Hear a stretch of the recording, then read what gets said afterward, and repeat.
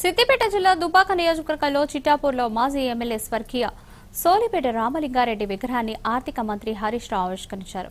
బడుగు బలహీన వర్గాలకు సేవ చేసిన వ్యక్తిగా రామలింగారెడ్డిని అభివర్ణించారు ఎమ్మెల్యేగా ఉండి చనిపోవడం బాధాకరమన్నారు.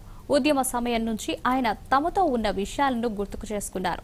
రామలింగారెడ్డి తమ మధ్య లేకపోయినా ఆయన ఆశయాలు ముందుండి నడిపిస్తున్నామని హరీష్ రావు స్పష్టం చేశారు.